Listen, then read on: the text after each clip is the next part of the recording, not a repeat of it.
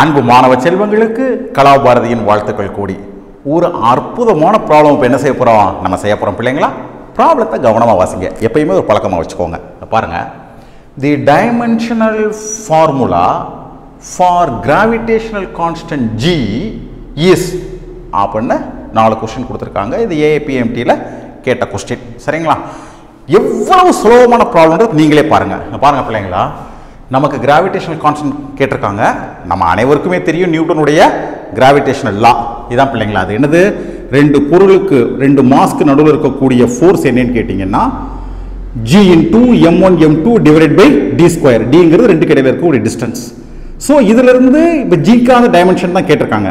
So G is equal to F T square divide by M one M two right இப்போ இதுக்கான unit எழுத போகிறேன் ஃபோர்ஸுங்கிறது என்னது? மாஸ் இன்ட் ஆக்சலரேஷன் மாஸ்ங்கிறது கிலோகிராம் ஆக்சலரேஷனுங்கிறது மீட்டர் பெர் செகண்ட் ஸ்கொயர் மாஸ்ங்கிறது kilogram ஆக்சலரேஷனுங்கிறது metre per second square second ration ஒரு minus two okay T square metre square M one M two kilogram kilogram kilogram square ஆக்சுவலாக முடிஞ்சு போச்சு பிள்ளைங்களா இவ்வளோதான் இதை ஒழுங்கு பண்ணுங்க.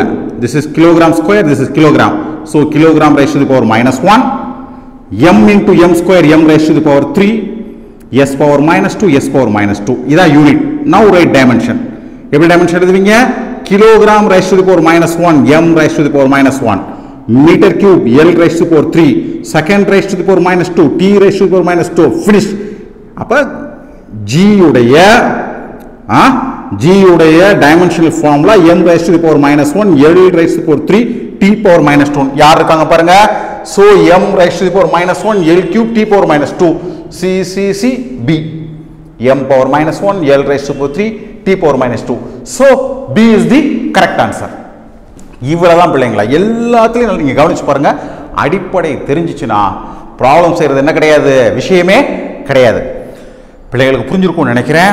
சந்தேகம் இருந்தால் கமெண்ட் சந்தேகம் இருந்ததுன்னா கமெண்ட் பாக்ஸில் கமெண்ட் பண்ணுங்கள் சேனலுக்கு மறக்காமல் சப்ஸ்கிரைப் பண்ணுங்கள் உங்களை சுற்றி யார் யாருக்கெல்லாம் முடியுமோ யார் யாரெல்லாம் வந்து நீட் எக்ஸாமுக்கோ இல்லை போர்டு எக்ஸாமுக்கோ தயாராக கஷ்டப்பட்டுக்கிட்டு இருக்காங்களோ தயவு செஞ்சு அவங்களுக்கு நம்மளோட சேனலை அறிமுகப்படுத்துங்க.